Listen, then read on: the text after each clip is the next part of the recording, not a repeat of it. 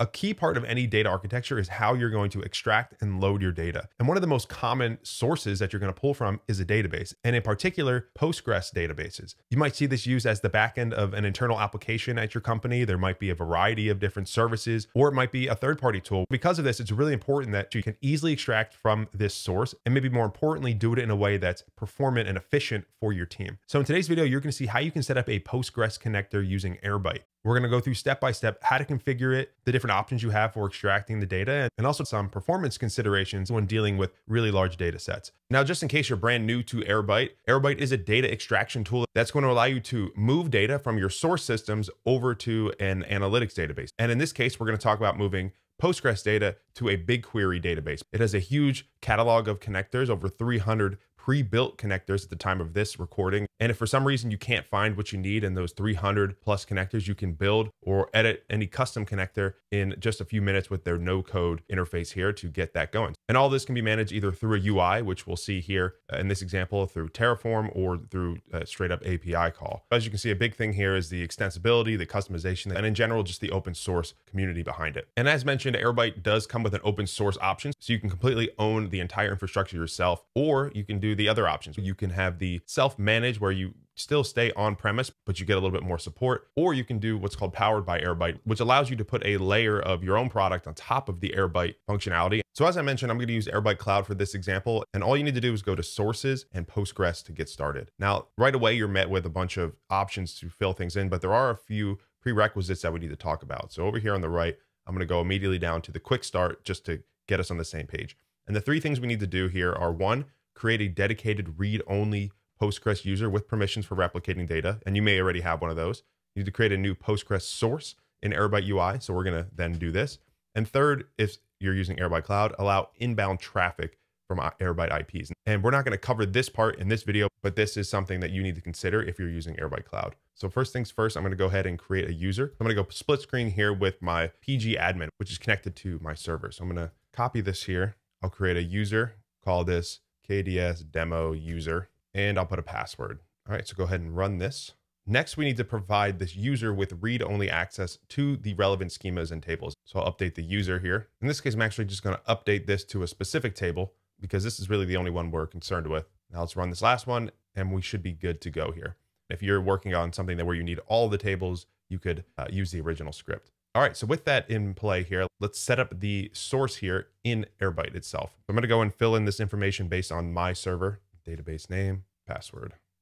Now you need to select a security mode, and the most frequent one, as it says, are require or verify CA. I'm not gonna go over what each of these means specifically, but uh, you would pick what makes sense for your purposes. Next is the replication method. So there are three options here. Number one is read changes with the write ahead log, and this is most commonly known as CDC, which stands for change data capture. And essentially, anytime you take an action in your database, it's going to log it into a separate logging area where you can then read the different inserts, updates, deletes, every individual action gets captured. Next is detect changes with XMIN system column. And this is recommended, especially if you have a smaller table or maybe you don't have a reliable primary key on a table that you can use. This will help you with inserts and updates, but it's not going to help you as much with deletes because you don't have a primary key to let you know that something was actually changed and it's the same record. But it will still allows you to do that incremental changing uh, as new inserts and updates come through. And the last one is a user defined cursor. And this, as it sounds, will let you define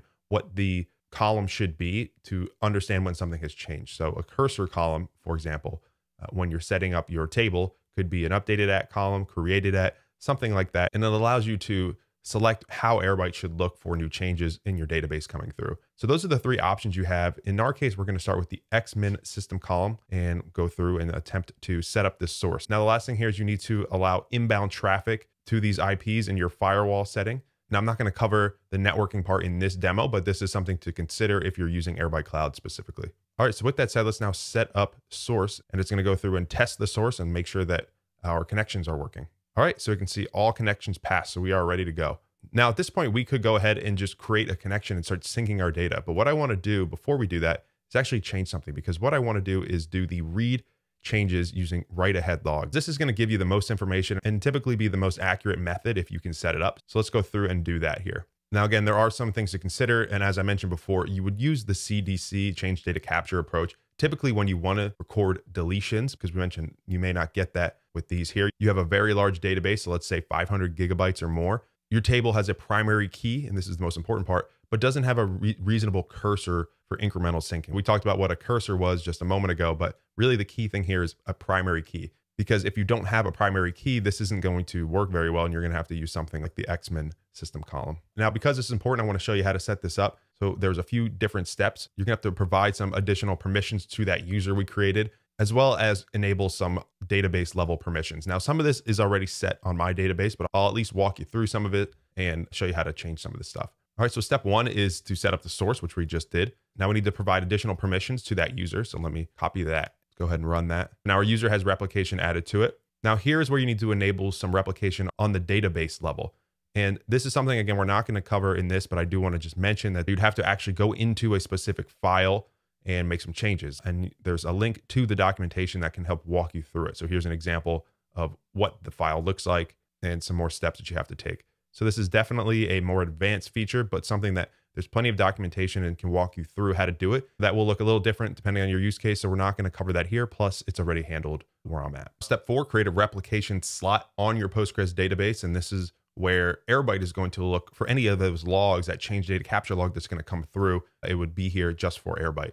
Now, again, this is already handled on my server, but you would just simply copy and paste this in there, and it's going to create that slot for you. Step five, create a publication for each table you want to replicate with CDC. So for each one, you would go through and do this. So let's go ahead and copy this in here. And in my case, instead of table one, it's going to be public KDS demo. So now that returned successfully. So now we've created a replica. The last part here is creating the publication for these specific tables. And this has already been done and it's called Airbyte benchmark. But just in case you want to know how to do it, the command that was run was benchmark for table and you can add the individual tables here. This is the command you would run to create the publication and add that table there. And now the replica has been added to this publication and it's ready for consumption from a tool like Airbyte. Added the name of the slot here and the publication, as I mentioned, is already created on my server. So I've just called it Airbyte benchmark and copy that in here. And now let's go and test these changes. Okay, all tests pass. So now we have our Postgres instance set up, have CDC enabled, and can go and connect it to a database, in our case, BigQuery, to sync that data over and have it continuously monitoring for changes. From connections, I'm going to do create your first connection. And the source we're going to use is an existing one, this Postgres one that we just created. And now for a destination, if you don't already have one, you would have to create a destination. But I've already configured BigQuery and here we can set up the connection. So you can give it a custom name if you want. I'll leave it as is. The data residency for me is United States. I'm going to set a manual frequency. You can adjust the namespace if you'd like in terms of the location of, of what it looks like when it lands. You can add a prefix to all of your tables if you'd like, as well as pick a setting for how it handles schema changes. Here at the bottom, it has our KDS AB demo table as a new stream. We can see it can be an overwrite or append because of the way the table is designed. We'll keep it as append. We're going to keep all the fields that are in here. And we can see it has some CDC tables as well for us and set up the connection. Okay, so now it's set up. The last step here is to sync the data into BigQuery. To sync this data over, we'll go over to sync now and kick off our first initial data sync and, and start moving our data from Postgres over to BigQuery. And eventually we'll see this in my BigQuery project over here. So a big consideration for anybody using Postgres is performance, especially if you have a large data set. In this case, because it's a demo, it's only about one gigabyte. But if you're working with something much larger, performance is a huge consideration. If you're curious in what Airbyte is doing to address this, there's an article where they go into some of the performance enhancements they've done through this particular connector. And in particular, over the last six months, or maybe a little longer at the time of this recording, they've been able to multiply their speed by up to 10 for some of their big connectors, including PostgreSQL. So in this article, they break down